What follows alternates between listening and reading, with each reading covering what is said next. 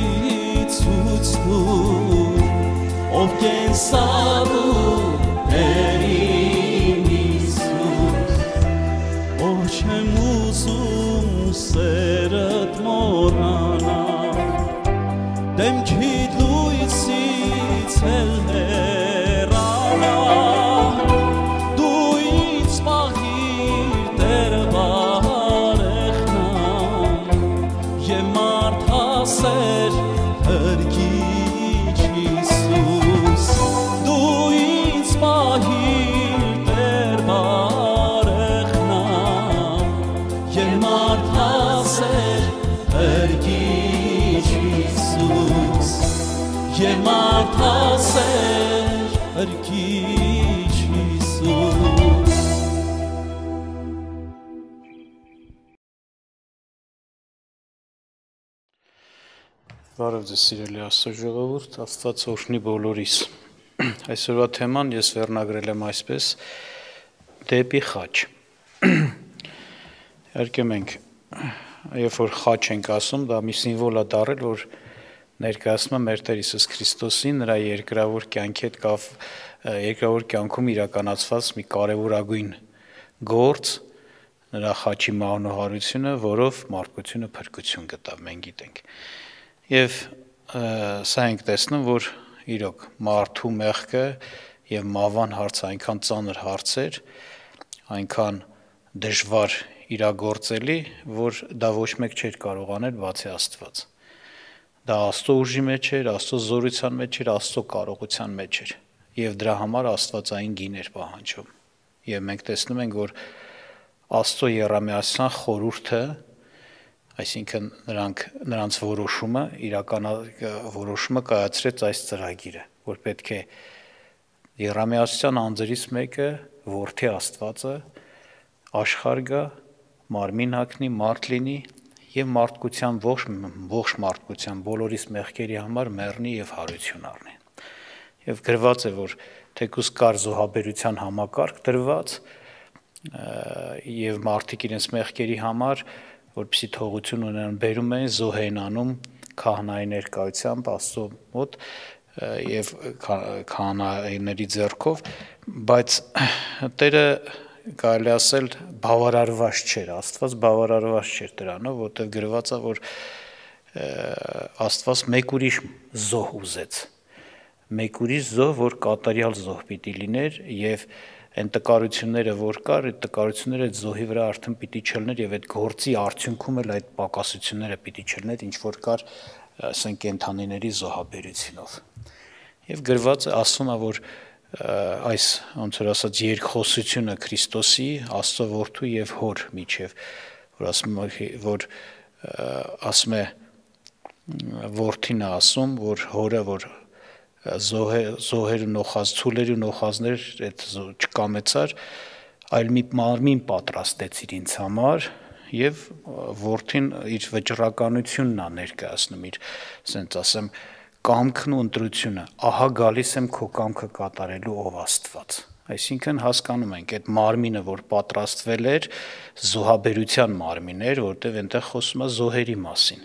որ կենթանիների մարմիններով եղած զոհերը չհավանեցիր իսկ ին որն է հավանելին եւ որն է կատարյալը եւ որն է Աստծո Աստծուն բավարարողը, որովհետեւ Աստված իշե կատարյալ Աստված է եւ կատարելապես մեր մերժելա մեղքը, անիրավությունը, մահը, ճարիքը եւ Աստված պիտի այնպիսի գործ կատարեր, որ կատարելապես դրանք ոչնչանային, վերանային, վերջանային, դրանց վերջը դրվեր։ Իսկ դա միայն ասում եմ մեկ մարմնով դա կարող է լինել Աստծո որդու մարմին հագնելով։ Եվ տեսնում ենք Աստված իր որդուն ուղարկեց։ Նա Աստծո ուղարկվածն էր։ Դրա համար Սուրբ Գիրքը տեղ կա նրան նրան անվանում է որպես Աստծո դեսպան, այսինքն հրեշտակ բայց ոչ թե էյության ու կառուցվածքի մասին է, ինչպես երկնային են հրեշտակները, դա գործի բնույթից ստացած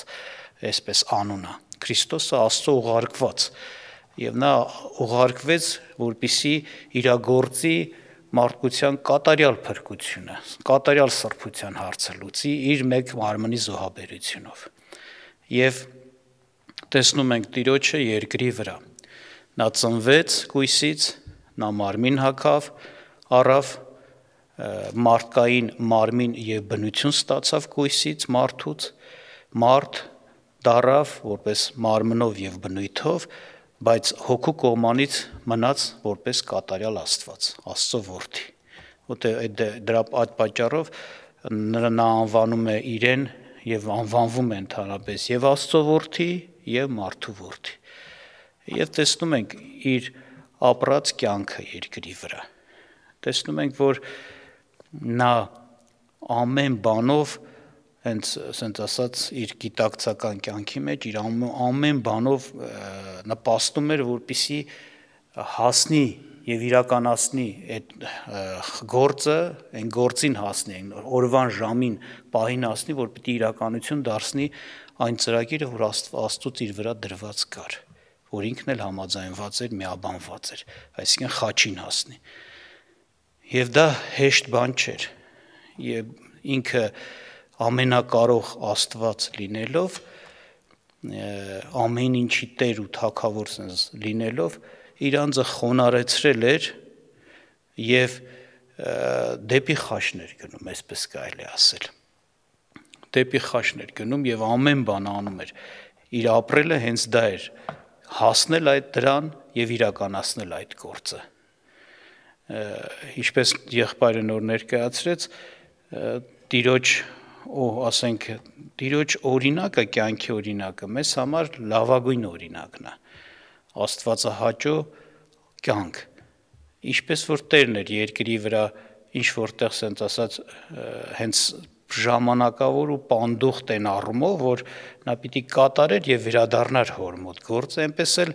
իրականության մեջ Քրիստոսին հավատացողներն են դարել պանդուխտես երկրի մեջ։ Այսինքն երբ որ օրինակ եղբայր ներկայացնում էր, որ ոնց որ ձեզ համար հիմնական բաներ մի հաստատեք, ձեր քաղաքացիությունը, ձեր նպատակը, ծրագիրը երկնքի հետ պիտի կապված լինի, դա ճշմարտություն է։ Մենք պիտի իրոք ապրենք երկրի վրա ասք, ասենց ասած, երկնքի ծրագրով, երկնքի տեսիլքով, երկնքի նպատակներով Դրա համար իր երկրի վրայի ժամանակը պետք է օգտագործվի այդ բաների համար։ Դրա համար ատիրեշ խոսքը ասում ժամանակը ծախո առեք։ Հենց մեր Տեր Հիսուս Քրիստոսին նայեք երկրի վրա ինքը օրինակ ոչ ընտանիք ստեղծեց օրինակի համար։ Իհարկե սա չի նշանակում, որ մենք պետք է չստեղծենք, սրա մասին խոսքը չի, որովհետև Տերը հատուկ մեսիայի, հատուկ առաքելության մեջ էր եւ ինքը այդպես կարող էր, պիտի աներ, բայց Աստծո կամքն ընտանիք կազմելը։ Բայց ամբողջ հարցը սա որ ինքը այն ինչ որ կարար արգելք լինել, խանգարող լինել, դեպի խաչը գնացող այդ ճանապարհի մեջ նա ամեն բան մերժել էր ոչ զբաղված էր եսի մի տներ սարքելով, գումարներ կուտակելով ու աշխատանքներով իր համար ինչ որ եկամուտներով ու բաներով ոչինչով նրա ամնա ամբողջ ասենց ասած սլակով նպատակասլացությամբ ուղղվածությամբ իր կյանքը դեպի խաշներ էր եւ ինչ դրա համար նպաստավոր էր եւ դրա համար անհրաժեշտ էր իրականացում էր ինչ որ բարենպաստ չէր խանգարող էր արգելող էր նա մերժում էր տեսնում ենք մերժում էր եւ հենց թեկուս սա հիշենք որ ասենք բազմաթիվ անգամներ եղավ որ Տիրոջը ուզում են Տերը խոսում էր, ճշմարտություն էր խոսում, խոսում էր իր Աստված լինելու մասին, Աստծուց ուղարկված լինելու մասին եւ շատերը այսպես կրոնավոր հрьяաները դա Աստված հայություն են համարում եւ ուզում են Տիրոջը սպանեին բայց Տերը խույս էր տալիս չէ նրանցից եւ հեռանում էր։ Մենք գիտենք, էսի այնպես չէ, որ Տերը վախենում էր եւ այդ վախն էր իրան առաջնորդում, չէ, իրան առաջնորդում էր Աստծո նպատակն ու ծրագիրը որpիսի նա հասնի խաչին, նա պիտի չմեռներ, այո։ Նա պիտի հենց խուսափեր այդ կարգի վտանգներից եւ արգելքներից։ Եվ տեսնում եք նա թողնում հեռանում էր, շատ ժամանակ հենց Հրեաստանը թողնում հեռանում էր անգամ պահ կար աշակերտները տեղ կար զարմանում էին, որ Տերը նորից ուզում է վերադառնա Հայաստան, ասում են նոր էին ուզդեղ քեզ ուզում սպանեն եւ դու ուզում ես նորից վերադառնաս, հիշում եք բանի Ղազարոսի հարության հետ կապված, որ պիտի հետ վերադառնար։ Բայց դա հենց այդ շապատներ, որ պիտի արդեն Տերը գիտեր, պիտի բռնվեր, մատնվեր եւ իրականանար խաչի գործը դրա համար վերադարձավ։ Բան այնտեղ կամ թեկուս իր ասենց ասած կյանքի ամբից ու անարատ ընթացքը Քրիստոսը այո տեսնում ենք ցերեկ լիներ դա առավոտ լիներ իրիկուն լիներ հորը աղոթք էր անում եւ Եբրայեցիս 5-րդ գլուխ 7-րդ խոսքում ասում է ինքը սաստիկ աղաչանքով, աղակով, արթասունքով աղոթք էր անում նրան, որ կարող էր իրեն մահից փրկել եւ իր բարեպաշտության պատճառով լսվեցավ Այսինքն տեսնում եք, որ ինքը հոգս էր քաշում, որpիսի հանկարծ մի արկել չլնի, ինքը չլնի թե չհասնի խաչին, չիրականանա խաչի գործը։ Մեկը կարող ասել դե ինքը Աստված էր մարմնի մեջ, իր համար ինչ կար, ամեն ինչ շատ թեթև, ամեն ինչ շատ հանգիստ։ Ոչ, ամեն ինչ այդպես չէ։ Նա մարդ էր եւ այդ մարդ լինելը, ասենց ասած, այն էլ մարդկային մարմնի եւ մարդկային բնության մեջ լինել իր էական դերներ կատարում, որ կարար այո խնդիր առաջանա եւ դրա համար գրված է որ նա աղոտ կաղաչանք էր անում, արտասունքով էր աղոտ կանում, որովհետեւ կա այն բնությունը, որ ասենց ասած մենք ունենք, այդ նույն բնության տերը մարդկային ինքն էր եւ այդ բնությունը հակում ուներ մանա հերացնել մարդուն ասենց ասած արթարի արթարությունից եւ անիրավության մեջ դեպի քաշի եւ տերը դրա դեմ պայքար ուներ այսպես է դրա դեմ պայքար ուներ եւ տեսնում ենք ասենք իրավիճակներ, որտեղ ոնց որ տիրոջ մոտ մեջ սխռովք էր բարձրանում տագնապ, անհանգստություն, դժվարություն, այդ բնությունը, բնույթը ոնց որ ասած մարդկային բնույթը չէր ուզում որպիսի Քրիստոսը դեպի խաչը գնա։ Չէր ուզում որպիսի իրականանա այդ չարչարանքը, տանջանքը եւ Տերը արտահայտում էր դա ասում էր իմ մեջ խռով կա, բայց ինչ եւ իհարկե երբ որ մի այդ խռով կա չի շանակում դա մեղանչելա չէ, դա նշանակում է ուղղակի մի իրավիճակ, որի դեմ պայքար պիտի լինի եւ մերժել պիտի լինի եւ Տերը տենում եք պայքարում ու մերժում էր եւ ես կուզեմ հիշեցնեմ ձեզ Հովանո ավետանից 12-րդ գլխից 23-ից 33 խոսքերը։ Հիսուսը պատասխանեց նրանց եւ ասաց ժամը հասավ, որ մարտի ворթին փառավորվի։ Ճշմարիտ ճշմարիտ ասում եմ ձեզ, եթե ցորոնի հատը հողի մեջ չընկնի եւ մեռնի, ինքը մենակ կմնա, բայց եթե մեռնի, շատ պտուղ կբերի։ Իր անձը սիրողը կկորցնի նրան եւ իր անձը ատող այս աշխարհքում հավիտենական կյանքի մեջ կպահի նրան։ Եթե մեկը ծառայի ինձ, թող նա իմ յետևից գա եւ ուր որ ես եմ այնտեղ էլ իմ պաշտոնյան կլինի։ Եթե մեկը ծառայի ինձ, հայրը կպատվի նրան Հիմա լսեք այս խոսքերը, ասում է. հիմա իմ անձս խռոված է։ Եվ ինչ ասեմ, հայր, ազատիր ինձ այս ժամիցը։ Սակայն իսկ սրա համար եկա այս ժամի մեջ։ Հայր, փառավորիր քո անունը։ եւ երկնքից ձայն եկա, փառավորեցի եւ դարձյալ կփառավորեմ։ Տեսեք, ինքն է Տերն ասում, սակայն իմ անձս խռոված է։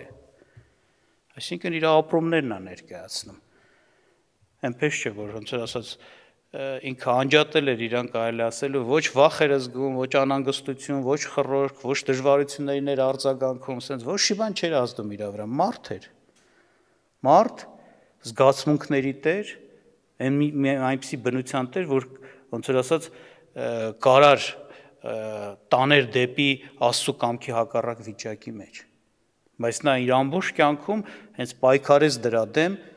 չնազանդվեց մարմնավոր բնության ոչ մի առաջարկին, հաղթեց, սանձեց, սաստեց, արխիլած պահեց, նրա ցանկությունները չկատարվեց եւ իրեն սուրբ ինքը սուրբ մնաց։ Եվ այստեղ էլ հենց նորից խաչը դեպի խաչը գնալու ճանապարհին այս դժվար իրավիճակն է, որ քանի մոտենում էր այդ օրը, քանի մոտենում էր այդ պահը, ժամը, ոնց որ իրականացում, տեսնում ես, այո, այդ անհանգստությունը, այդ դժվարությունը, որ կամ հեշտ չէր, որ հեշտ չէր, որ Տերը գնում էր դեպի խաչը, կար դրա հետ կապված շատ հարցեր, որ պիտի հաղթարեր։ Եվ իր իր անձի մեջ հենց եղած խռովք, ասում է, իմ անձս խռոված է, ասում է, ի՞նչա, ոնց որ ասած, լսեմ, հնազանդվեմ այդ վիճակին ու այդ վիճակով առաջնորդվեմ, դրա այդ խռովքով առաջնորդեմ, այսինքն եթե առաջնորդվեմ, պետք է ինչ ասեր, հայր ազատիր ինձ այս ժամից, այսինքն թող չխաչվեմ, հա։ Բայց չէ որ ինչ, հենց սրա համար եկա։ Եվ հաղթական որոշումը, հաղթական վերահաստատումը իր ընտրության հայր փառավորիր քո անունը եւ երկնքից հա վկայություն եկա փառավորեցի, ել ավելի պիտի, ել պիտի փառավորեմ։ Այո, տեսնում ենք Եվ տեսնում ենք նորից, ասենք, երբ որ Տերը մոտենում էր հենց արդեն գիտակցաբար ընտրեց, վերադարձավ Հրեաստան, նրան բռնեցին, պիտի բռնեին, տեսնում ենք Գեցեման պարտեզում արդեն նորից անհանգստություն, տագնապ, խռովք տիրոջ մոտ եւ բայց Տերը նորից պայքարում էր, որpիսի այսպես դրանք արկել չլնեին եւ պատճառ չդնեին, որ ինքը շեղվեր խաչի ճանապարհից չհասներ խաչին։ Եվ դրանց դեմ պայքարում էր եւ նորից իր վճռական որոշումներ վերահաստատում, թող քո կամքը լինի հայր։ Հիշում եք, չէ՞, իր խոսքերը կարող եմ ձեզ հիշեցնել Մատթեոս 26-րդ գլուխ 36-ից 45-րդ հատվածը կարդացեք, դա իր աշակերտների երբ որ նկարագրում է իր հոգում կատարված, իր սրտում կատարված, իր այսպես ներքնաշխարում էության մեջ կատարվածը ինքը այսպես է նկարագրում. Հոգիս մահվան պես մահվան չափ ինչա ասենց բանարած է չէ տրտմած է նեղված է այսինքն այդ բանից էր բնական այդ սпасելիք գալիք սпасելիք դժվարությունից էր այդ բանը ճնշումներ ոնց որ ճնշում կար եւ ինքը նեղվածություն էս մահվան չափ ասում, այսպես է նկարագրում։ Անկամ ինքը իր վիճակը, որ ներկայացնում է, տեսնում ես այն քայլերի ցերեմը իրոք շատ մեծ sense ապրումների մեջ էր այդ դժվարությունների հետ կապված եւ ինչ էր անում ինքը գնաց աղոթքանելու ասում է վերցրեց չէ մի քանիսին Պետրոսին եւ Զեբեդիայի որդիներին վերցրեց իր հետ ասեց ուզում եմ որ 1 ժամ ինձ հետ ինչ անեք արթուն մնաք Հասկանում եք դա ինչա նշանակում ժողովուրդ։ Ես արդյոք բացատրվել եմ։ Այդ նշանակում է այս, ոնց որ եղել է, չէ, մարդը ինքը իր ապրումները տարել է, հասկանում է տիրոջը շատ ժամանակ այդ տիպի բաներ։ Այնքան նեղված ես, այնքան ճնշված ես, այնքան սենց բան կա, խռով տագնապ կա քո մոտ, որ չես ուզում մենակ լինես, ուզում ես մեկը կողը տնի, մեկը հետը տնի։ Մեկը քո հետ լինի, ասես, Տեր ասեց, իմ հետ մնացեք Հետո երբ որ եկավ տեսավ քնած են, չէ, աղոթքից հետո եկավ տեսավ քնած, մի ժամ էլ չկարծակ իմ հետ մնաք տնաշեններ։ Մի ժամ ասեցի հետս մնացեք։ Չեմ ուզում մենակ լինեմ։ Իսկեն էս տիրոջ խռովքն է, տիրոջ տիրոջ հոգեկան ապրումներն է, բայց նաև տենում ենք տիրոջ նորից նույնություն ասում։ Եվ աղոթքը, հիշում եք աղոթքը, որ ասում էր հայր, եթե կարելի է, բայց թող քո կամքը լինի։ Եթե կարելի է, թող այս բաժակը ինձ ինձանից անցնի, բայց թող քո կամքը լինի, ոչ թե իմ ուզածով լինի։ Այսինքն ես առաջարկում եմ, բայց ես համաձայն եմ քո կամքին ինչ կասես։ Եվ համաձայնությունը էս էր, ոնց որ ասած, ինքը համաձայնվեց հոր կամքին, որ համաձայն բանը հելավ աղոթքից եւ արդեն որոշված վճռական գնաց ընթառաջ նրանց, ովքեր որ պիտի գային բռնելու։ Ինքը լավ գիտեր որ գալու են բռնելու։ Ինքը ճար ու հնար ուներ իմանալով հանդերձ թողներ, փախչեր, հեռանալ, չէ՞, կարող էր։ Անկամ երբ որ իրան բռնեցին, հիշում եք, չէ՞, ինչ կատարվեց աշակերտները հենց Պետրոսը սուրը քաշեց, սկսեց կարծես թե իր տիրոջը պաշտպանել Հիսուսին։ Տեր ասեց սուրը տեղը դիր, չէ՞։ Միթե այն բաժակը, որ հայրը ինձ տվել է, ինչ, ես պիտի չխմեմ։ Այսինքն տեսնում եք նպատակաուղված դեպի խաչ գնալը։ Այսինքն պաշտպաններ կային, որոնք ուզում էին պաշտպանեին, որ տիրոջը այդ բանը չպատահի, բայց Տեր ասում է, ես հենց սրա համար եմ եկել, ոնց ոնց ես թողնեմ, որ թույլ տամ, որ դուք ինձ պաշտպանեք եւ չկատարվի դա։ Այն բաժակը, որ հայրը տվել է ինձ, միթե պիտի չխմեմ։ Այսինքն սա որոշված նախատեսած ծրագրած մի բան է, թեկուզ դառը բաժակա, տանջանքա, տառապանքա, մեծ ցավա, բայց դա իրական պետ հա հորիսա եւ պիտի խմվի, պիտի իրականանա։ Այսպես էր։ Եվ անգամ տեղ կար իրավիճակներ կար, որ նայում տեսնում ես խոսում էին տիրոջ հետ, իրան իրեն չէ, մեղադրողներն են խոսում, մեղադրում են տիրոջ, տիրոջ հետ են խոսում, թակավորի առաջ են խոսում տիրոջը մեղադրելով, բայց Տերը ասում է ինչ էր, լուր էր, այն աշճան լուր էր, որ թակավորը այդ ոնց որ դատավոր կանգնածները զարմանում էին, ասում են, խիչ ես ոնց որ քեզ պաշտպանում էլի։ Բայց անգամ Տերը միտեղ ասես, չէ, որ քահանաները խոսցնում են ինքը լուր էր, քահանապետները ասես, եթե ասեմ, դուք պատասխան չեք կարա տակ, այսինքն Տերը կարար այնքան իմաստությունով խոսար, բան ասեր, որ սրանք ասած պապանձվեին եւ անգամ մեղադրելու բան չունենային ու չկարողանային իրանց ուզած իրականացնել, բայց Տերը լուր էր։ Այն ժամանակ խոսեց, երբ որ երթվեց, երթվեցնել տրեց, տվեցին հոր անունով, չէ, Աստծո անունով երթում մեջտեղ բերեցին եւ նա խոսեց ու ճշմարտություն խոսեց, ընդ որում նես բան խոսեց, որ դրանից կարճեցին ասեցին վերջ մահապարտա պիտի սպանենք։ Պիղատոսը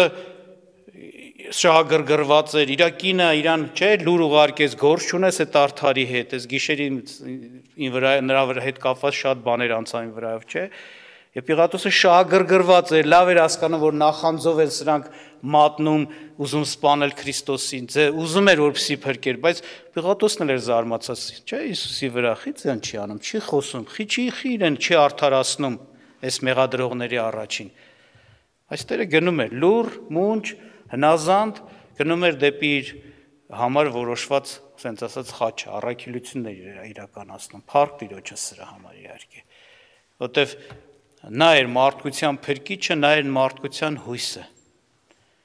Չկար էլ ուրիշ ճանապարհ, ուրիշ միջոց։ Եթե դա էլ խափանվեր, մարդկությունը կորած էր։ Տիեզերքը կտրակեր, ասենց ասած։ Չարը կհաղթեր։ Բայց փառք Հիսուսին, որ ամեն ինչ է, ասենց ասած, թե թշնամիների հետ կապված, թե հարցում ինքը ոնց որ ասած իմաստության վարվես, թե իրեն օգնողների հետ կապված, որ մերժեց այդ օգնությունները, թե մարմնի բաների հետ մարմնի մեջ կատարած մարմնավոր բնության այդ ձգտումները սանձեց ու սանստեց եւ հասավ նրան, որ այո, խաչվեց մեր մեղքերի համար եւ մեռավ հարություն առնելով մեզ արդարացնելով եւ տեսնում ենք Քրիստոսի հենց խոսքերը, որ ինքը իրոք ասես ձգտում էր դրանը, բա Ղուկաս 12-ի 50-րդ խոսքը ասում է մի մկրտությունն եմ մկրտվելու, բայց հենց հոգս եմ անում, հոգս եմ քաշում, որ կատարեմ։ Դա մա իր մահվան մկրտություն է, այսինքն որ պիտի մեռնեմ, մահվան մեջ թաղվեմ։ Եվ ձգտում էր։ Եվ Տերը ուրիշ բաներով զբաղված չէր, իր ամբողջ ուշքումիտ քեզ էր իրականացնել Աստծո կամքը, գործեր, աներ ամեն օր Տիրոջ խոսքի համատ գործ եւ վերջում էլ ոնց որ ինչպես որոշված էր մեռներ եւ հարությունար եւ հետաքրքիր է հիշեցնեմ ձեզ համար Եսայա մարգարեության 53-րդ գլուխը 1-ից 7 խոսքերը որ ասում է ով հավատաց մեր լուրին եւ տիրոջ բազուկը ում հայտնվեցավ որովհետև նա մատաղատունկի պես դուրս եկավ նրա առաջին հետաքրքիր չէ ասում մատաղատունկի պես այսինքն շիվը որ ծլում է բանից չէ ասենք բողբոջումա ծլումա, հետո շիվա դառնում, մեծանում, հետո ծառ կդառնա։ Այսինքն Տերը նես չի որ մի անգամից հայտնվեց աշխարհին, մեծ չափահաս, ոչ մեկ չիմացավ որտեղից է եկել։ Նա ծնվեց մարդուց, փոյ մեր բոլորի նման եղավ ասենք մի ամսեկան, մի տարեկան եւ այլ եւ այլ, այսպես մատաղատունքի նման բարձրացավ, այսպես ասում, այսինքն այդպես աշխարհում նա եղավ։ Ոչ կերպարանք ուներ, ոչ վայելչություն Մենք տեսանք նրան եւ մի տես չկար, որ նրան ախորժենք։ Նա անարգված եւ մարդկանց երեսից ընկած։ Հարվածների տեր եւ ցավի տեղյակ եղավ։ Տեսեք Աստծո որդին, Աստվածային փառքի տեր անznավորությունը ծնվեց, եկավ աշխարհ եւ ինչպիսի տեսքի եւ ինչպիսի անարգված մարդկանցից անարգված վիճակի մեջ եղավ, ցավերի հարվածների տեղ, որ ասում է երես պիտի ծածկվեր այդպիսինից եւ ոչինչ էինք համարում։ Է իրավի նա մեր ցավերը վերարավ եւ մեր վշտերը բեռնեց իր վրա, բայց մենք նրան պատոհարված էինք համարում, Աստվածանից զարգված եւ նկուն եղած։ Բայց նա մեր մեղքերի համար վիրավորվեցավ, մեր անօրինությունների համար հարվածվեցավ։ Մեր խաղաղության պատիժը նրա վրա եղավ եւ նրա վերքերով մենք բժշկվեցինք։ Մենք ամենքս ոչխարների պես մոլորվեցանք։ Յուրաքանչյուրն իր ճանապարհին դարավ եւ Տերը նրա վրա դրավ մեր ամենքի մեղքը։ Նա անիրավություն կրեց եւ չարչարվեցավ, բայց իր բերանը չբացավ Իսպես ինչպես մի ոչխար, որ մորթվելու է տարվում, եւ ինչպես մի մունջ մաքի իր խոզողների առաջին, այնպես իր բերանը չբացվեցավ։ Տեսնում եք նկարագրատերը ոնց որ այդ ճանապարհը ոնց անցավ։ Իրա նկատմամբ ասում է անիրավության վարվեցին, այդ մեր նաև մեր անիրավությունը նրա վրա դրվեց։ Ինչ ասես թե չարեցին, բայց ասում է ինչ արեց, իր բերանը չբացեց, նման էր մի ոչխարի, որ մորթվելու էր տարվում մի մունջ մաքի, որ խոզողների առաջին էր տարվում, այսինքն լուր հնազանդ դեպի խաշն էր գնում, իր առաքելություններ իրականացնում, փառք Տիրոջը սրա համար։ Եվ չօգտվեց իրեն օգնողներից, չօգտվեց հնարավորություններից, որ կարար խուսափեր այդ խաչին, այլ գնաց դեպի խաչը եւ իրականացրեց։ Եվ երբ որ ինչպես Եբրայեցիս 5-րդ գլուխ 7-րդ խոսքում ասում, երբ որ ասում է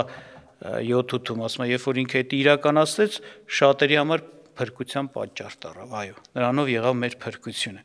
Իհարկե, գիտեք ոնց է, ես ասեմ, տիրոջ նախ տիրոջը փառք սրա համար, որ իրականացրեց այ մեզ համար այս փրկությունը, այսպես ծանր թեկուս, բայց գնաց մինչև վերջև կատարեց, բայց նաև սա եմ ուզում ասեմ, տիրոջ կյանքը մարգարեական կյանք է։ Այսինքն նրա կյանքով շատ բաներ է բացահայտում, նաև շատ հարցերի հետ կապված։ Հենց թեկուս մի բանի վրա կուզեմ ուշադրություն դարձնեմ, որ այո, վերջի ժամանակների եկեղեցին, որ այսօ այս ժամանակների եկեղեցին է, նույնպես մեծ նեղություններով, դժվարություններով պիտի անցնի Սուրբ Գիրքը ասում է, այսպես է։ Հետ էլ կարելի ասել նման է ինչ որտեղ, որ մենք էլ գնում ենք դեպի դա։ Եվ դա որոշված եւ նախատեսված էլի ժամանակներ են եւ իրադարձություններ են, որpիսի երկ, որ պիտի երկրի վրա անպայման կատարվեն, անպայման կատարվեն։ Մենք չենք կարող շրջանցել, ինչպես Սուրգիկն է ասում, դա մի փորձություն է, որ պիտի գա երկրի վրա եղած բոլոր մարդկանց ինչանի փորձի։ Բայց մենք պես տիրոջ նման է գնանք այդ փորձություններին։ Մտնենք այդ փորձությունների մեջ Դրոշ նման մենք մեզ է պատրաստենք նաև այդ փորձություններին։ Մեզ սուրբ պայենք, ամբից անարատ պայենք։ Տերը պատական չէր ասում, բոլորդ կթողնեք փախչեք ինձ, բայց ես մենակ չեմ, որովհետև հայրը ինձ հետ է։ Ու բացատրում ինչի, որովհետև ես իրա ինչ նմանում ամեն կամքը կատարում եմ։ Այո, այդ այն ժամանակներ եղավ մարդիկ մարդկանց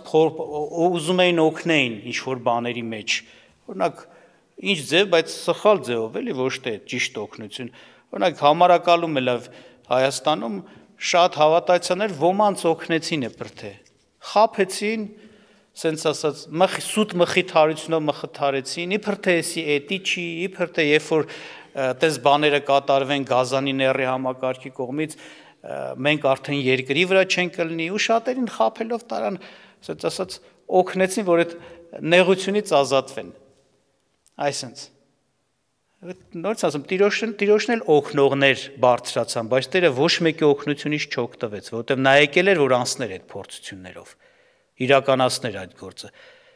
Այդպես էլ անես չէ, վերջի ժամանակներում մենք կարող ենք այդ օգնություններից օգտվելով ազատվենք այդ փորձությունից, չկա տես բան, այդ փորձները պիտի անցնենք։ Պիտի այդ փորձությունների մեջ համբերենք, այդ փորձությունների մեջ հավատարիմ գտնվենք, մնանք Մեզ այդ սուտ օգնողներն ու մխիթարողները պիտի պիտի մերժվեն մեր կողմից։ Եթե չմերժվեն դրանց սուտ օգնությունով ու մխիթարությունով, մենք ուղակի, ասենց ասած, տիրոջը անհավատարմություն կանենք եւ կընկնենք չարի ձեռը։ Այդ համակարգի իշխանության տակ կընկնենք, գազանի համակարգի իշխանության տակ։ Այսպես է։ Եվ այնպես չի, որ հիմա կարելի ասենց ասել, ինչպես տիրոջ այդ վերջի շաբաթներ, հիմա կարելի ասել աշխարի վերջի շաբաթն է, տիրոջ երկրորդ գալստից առաջ։ Ինչ որտեղ սրանն է նման։ ավելի ու ավելի ծանրանալու, դժվարանալու։ Եղբայրը մի համար կարդաց թե Խուսանեկիզից թղթից հիշեցրեց, որ երբ որ կտկասեն ինչա խաղաղություն եւ ապահովություն, հա, այն ժամանակ կգա վերջ։ Այսինքն հասկանում ես կգա մի պա կարծես թե կթվա կթվա թե երկրի վրա ամեն ինչ լուծվեց։ Խաղաղությունը, ապահովությունը ոնց որ ժողովուրդը կասի, այ վերջապես վերջապես խաղաղությունը, ապահովությունը։ Այսինքն այդ ժամ դրանից առաջ մեծ ծանր իրավիճակ դժվարություններ են ստեղծելու։ Հենց հիմա նայեք, ամբողջ աշխարհում մեկ ինչա այդ արհեստական տարածված էպիդեմիան է։ Չէ, կորոնավիրուսի բանն համաճարակն է։ Մարտածին ստեղծված ծրագրով կնայենք, տեսնենք ոնց որ էսի ծրագրի սկիզբն է, հետո ինչ են ուզում անեն դրանք։ Այսպես է։ Ինչ որտեղ թույլատրությունների ժամանակաշրջանը, գիտեք ինչ ժամանակաշրջան է, ժամանակաշրջանը մի փոքր նկարագրեմ։ Շատ շատ հոգևոր մարդիկ, ասենք քրիստոնյաներ կարող մտածել լավ ինչ դրխի մենք այս ժամանակում պետք է ծնվենք, sense ծանր որ գազան, գազանի համակարգ հասկանում եք այս ժամանակաշրջանը այն ժամանակաշրջանն է, որ երբեք, ասենք ասեմ, սատանայի մարդիկ, սատանան այս կարգի իշխանություն ու հնարավորություն երկրի վրա չի ունեցել երբեք։ Այս կարգի զորություն ու կարողություն, միջոցներ, հնարավորություններ չի ունեցել, որ հիմա ունի։ Բայց էսի թույլատրված է իրեն։ Աստված չէր կարա արքիլեր, Աստված կարա արքիլեր, բայց թույլատրված է իրեն էսի։ Եվ դրա համար է շատ ծանր լինում։ Եթե առաջ մարդիկ կարային ստեղ փախնեն, այնտեղ փախնեն, հենց հասկանում ուր փախնես, որտե փախնես։ Ամեն ցենց ասած քառակուսի սանտիմետրը, միլիմետրը հասկվում է, տեսնվում է, ֆիքսվում է, նկարվում է։ Եվ այլ եւ այլ է։ Այսպես։ Բայց է սրան է էլի նման ինչ որտեղ որ Աստված թույլ է տվել, որpիսի ամեն հնարավորություն կարելի ասել, ամեն տեսակ, համարյա ամեն տեսակ, ասենց ասեմ, հնարավորություն տրվի չարի ծառաներին երկրի վրա, որ ասենք նաև սա ապացուցվի երևա, որ միևնույնն է, նա չի կարող հաղթել Աստծո սուրբերին, Աստծուն չի կարող հաղթել Աստծո սուրբերին։ Այսինքն կտրվի այդ հնարավորություն, բայց վերջի վերջո նա չի կարողանալու իր ունեցած հնարավորություններով հանդերձ, ասենց Աստծո ժողովրդին ծնկի բերի եւ իրեն նազանդեցնի, իրեն առաջին խոնարեցնի եւ իրեն երկրպակել տա։ Չի կարողանալու, չնայած այդ մեծ հնարավորություններին։ Այսինքն Աստված այս օրերի մեջ իր ժողով մի հատ հատուկ ժողովուրդ է, ոնց որ ասած աշխարհում ունի, որոնց ձեռով իր հաղթությունը, զորությունը, մեծությունը պիտի ապացուցվի որ չարը ինչքան էլ ինչ կարգի հնարավորություններ ստանա, նա չի կարող Աստծուն հաղթել, Աստծո ժողովրդին հաղթել։ Սրանք այն ժողովուրդն են, որ պիտի ապացուցեն, որ իրոք ամենից բարձր ու թանկ Աստված մեզ համար։ Չնայած մեծ նեղությունները, մեծ զրկանքներ պիտի քաշեն, բայց պիտի հավատարիմ մնան Աստծուն։ Էնպես որ փառք է ժամանակների մեջ այդ ժողովրդի մասը կազմելը, բայց ես եմ ասում, որ Տիրոջ նման մենք էլ պիտի ոչ թե մտածենք փախնել, խուսափել եւ եւս ինչ անենք, դրոշ նման մենք էլ է գնանք դեպի խաչը մեր, դեպի այդ դժվարությունները։